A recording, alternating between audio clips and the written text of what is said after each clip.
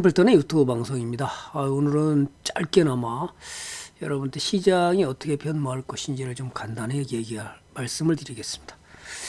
자, 지금 시간이 쫓겨가지고요. 어, 이런 방송 시간이 얼마 안 돼, 10분 동안만 제가 어, 시장이 어떻게 굴러가는지 같이 한번 보겠습니다. 오늘 그 대체적으로 아직은 음, 코로나19로 인해서 지수가 그죠? 오늘은 좀 더 올라올 줄 알았더니 또 막판에 좀 밀려서 그랬지만 아직 그죠 박스권에 있으니까 상당히 좋습니다. 코스닥 역시 음, 기관 외국인의 매수세가 아직 저 투자 집계를 보면 어, 코스닥은 지금 역시 기관 외국인 전부 매도가 오늘 일어났는데 개인들만 사고요. 음, 상당히 개인들은 지금도 어, 음, 지금 부동산 정책이 어려우니까 투자 예탁금이 오늘 어, 정확하게 얼마로 나왔냐 하면 투자자의 예탁금이 44조 아직도 어, 개인 투자자리 엄청나게 44조 2,617억 정도가 지금 예, 대기 자금으로 있습니다. 어, 부동산에 대한 투자가 이제 상당히 어렵다. 여당이 집권하면서 이제 확실하게 뭔가 또 어, 지난번에 얘기했던 토지 공개념에 대해서 어떤 액션이 나오지 않을까라는 생각도 들긴 합니다.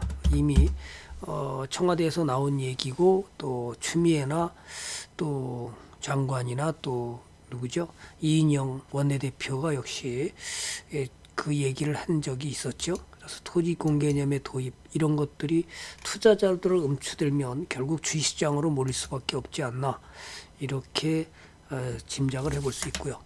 자 오늘은 대체적으로 지난번에 이어서 대북 수혜주들이 그 트럼프의 김정은의 따뜻한 편지를 받았다는 얘기를 문토 문 대통령의 그 선거 승리에 대한 어, 통화를 한 이후에 그 말로 인해서 지금 대북주들이 상당히 많이 올랐죠. 대아티아이라든지요. 그죠? 음, 또 어, 부산산업이라든지요. 뭐 제가 옷장사 이런 것들은 잘 잘 안 보는데요. 그 다음에 이제 현대로템이라든지 철도 관련 종목들이 전부 다 급등 나갔습니다. 그 다음에 현대 엘리베이터 이런 것들이 아마 급등이 나갔는데요. 현대 엘리베이터는 많이 현대 로템이 상당히 많이 올라갔고요.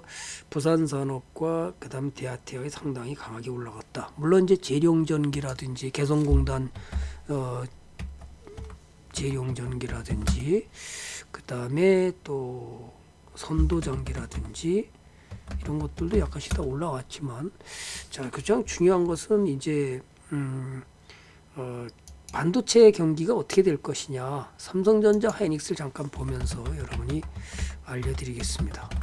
삼성전자는 지금 그 오늘 어 많이 떨어졌죠.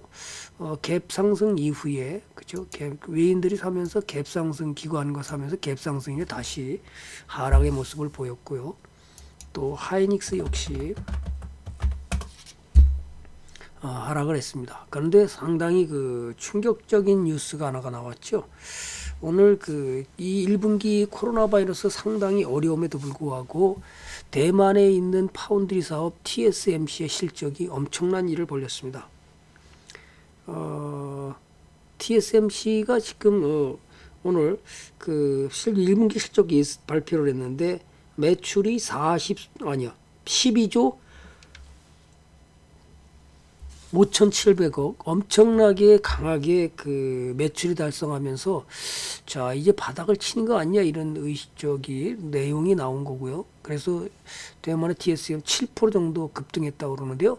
거기다가 이제 우리가 봐야 되는 것은 해외에서 이제 반도체인 그 필라델피아 반도체 지수는 꾸준히 올라가고 있다는 것에 대해서 여러분은 주목하라 이런 얘기를 하죠. 자, 꾸준히 올라갔습니다. 그래서 지난번에 또 하나가 이제 올라갔던 것이 테슬라가 어, 테슬라가 강한 반등을 이용해서 전기차 수혜들이 서서히 나가고 있고요. 또 필라델피아 반도체 지수가 강하게 올라감으로써 여러분은 반도체 장비줄이라든지 그 다음에 파운드리 사업에 관련된 또 시스템 반도체 종목에 관심을 갖는 것은 상당히 중요할 수 있다. 그래서 그런 종목이 과연 뭔가 여러분이 찾아보는 정도 상당히 중요하죠. 그죠? 그래서 비메모리 반도체와 또 반도체 장비들 이런 것들을 상당히 여러분은 관심을 가져서 저희는 뭐 사가지고 원익 IPS 같은 경우에서 꾸준히 들고 가는데요. 이건 뭐 그죠? 삼성전자보다 오히려 또 오늘도 양봉을 내, 양봉을 못 냈지만 수익이 커졌다는 거 이런 것을 가져가는 것도 중요하고요. 또 하나가 이제 그 어, 비메모리 반도체 같은 경우에는 어, 한미 반도체 같은 경우에 상당히 잘 가고 있고요. 그죠?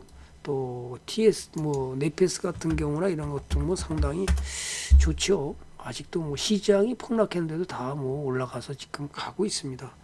자 이런 것들을 여러 개 보면서 어떤 종목을 매수해서 갈지 자 중요한 얘기고요. 또 지난번에 한번 말씀드린 무료 방송에서 얘기했던 지금 유가가 지금 텍사스 중진유가 무려 15달러를 깼다 그랬다면 여러분이 사지 말아야 될 종목은 뭐예요? SOE를 지금 계속해서 관심 종목으로 봐야 되겠죠. 추세를 전환할 때까지 기다린다. 추가 하락하지는 않고 있습니다. 따라서 끊임없이 살펴보면서 상승을 넘어갈 때 여러분들은 이 박스권을 넘어갈 때 이제 슬슬 사보는 전략으로 가면 좋지 않을까. 자 그렇다면 유가가 뭔가 어, 두 번에 걸쳐 아니요 어, 상승하는 그 어, 감산에도 불구하고 하락했기 때문에 만약에 그것이 어, 감산으로 인해서 상승한다면 그때 관심을 갖고 좋은 에, 유가에 대해서 서서히 매수에 가담하면 되지 않을까. 아직 잘 판단도 못하는데 욕심내서 왕창 투자한다든지 이런 것은 별로 바람직하지 않죠. 분할 매수 간다는 거 잊지 마시고요. 또 하나 이제 그 코로나 바이러스의 임상 결과 때문에 렘데시비르가 미국에서 그 수혜주가 역시 그래서 파미셀이 강하게 이제 상한가를 진입했습니다. 그죠? 거기다가 이제 여기에 수혜주들이 다 뭐냐면 신풍제약이라든지 그죠? 어,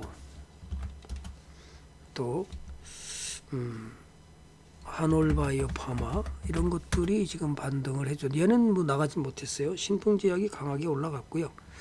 거기다가 이제 진단 키트가 다시 어, EDGC, ED 실적이 좋아질 거라는 어, EDGC 이런 것들이 상한가에 다시 재짐하는 모습을 보이고 있습니다. 여러분들은 어떤 종목을 어떻게 해서 매수해야 될지 이제 조정이 마무리되고 다시 재상승하는데 뭐 더 이상 안 갈 거다 끝났다라고 판단해 가지고 안 갔나요? 네. 또 나가죠. 자, 그래서 이런 것들을 보는 눈이 있어야 되는데, 아, 이제는 더 이상 테마로 끝났다고 이렇게 치부해버리고, 예, 말아버리는 전문가도 있더라고요. 여러분들이 거기서 속으면 더 갈 수 있는 종목을 가져가지 못한다는 사실을 수익이 크게 확대하는 방법이 모르기 때문에 이런 거죠. 자, 이제 지금부터는 여기까지는 아마 여러분들이 충분히, 음, 어, 희망을 가질 수 있는 그런 내용이고요. 그래서 반도체 관련 종목들을 여러분들이 장비주라든지 그 다음에 특히 음, 반도체의 어, 비메모리 반도체에 대한 시스템 반도체에 관심을 가져야 되는 것은 일단 어, TSMC가 파운드리 사업을 주로 하는 업체이기 때문에 자 미국 업체들이 그러면 이 집콕에 대한 어, 수혜주들 거기에 대해서 상당히 좋은 결과가 오지 않을까. 그래서 여러분들은 어, 필라델피아 반도체 지수를 보고 이런 걸 보면서 종목들을 한꺼번에 사지 말고 분할 매수로 서서히 간다면 수익은 더 크게 확대되지 않을까. 이렇게 저는 조심스럽게 진단해 드리고 싶습니다. 자, 시장이 모두가 안 된다고 그럴 때가 그죠? 예, 가는 것이고요. 수많은 투자자들이 이제 어, 어떤 문제가 생기냐면 어, 그죠? 자꾸 더블 딥에 대한 두려움. 또 우리 오늘 유료방에서 제가 그 부분에 대해서 어, 캠피셔의 얘기를 어, 예를 들면서 그런 거에 너무 현혹되지 마라. 좋은 종목을 어떻게 갖고 가는가 더 중요하다. 설사 더블 딥이 오더라도 좋은 종목은 여러분을 어떻게 한다? 어떻게 한다? 예. 수익을 내는 결정적인 찬스가 옵니다. 그것이 지금 보면 대체적으로 보면 카카오 같은 경우도 이렇게 올라가는데 자 이런 것은 가져가지 못하고 그죠? 이렇게 올라가는데 가져가지 못하고 대부분의 종목을 예 진짜 수익 날 종목은 가져가지 못하고 뭘 샀냐? 기껏 한다는 것이 차트의 바닥이라고 이런 것들 사면 예, 부실 종목을 사기 때문에 이런 정지 상태가 나가고요. 또 감자를 갖다가 자본 감사로다가 감자를 이렇게 당하고 또 다시 재물 분석을 보면 어떤 일이 벌어지냐면 지금 영업이익이 지금 3년째 적자입니다. 그죠? 예, 거기다가 지금 유보율도 다 까먹어서 많이 났습니다. 이제 관리 종목 아니면 갈 수 있는 길이라는 것은 이제 감자를 할 또다시 할 수밖에 없고요. 대규모 감자 이후에 증자를 하지 않아야 될 해야 될 가능성이 상당히 커졌습니다.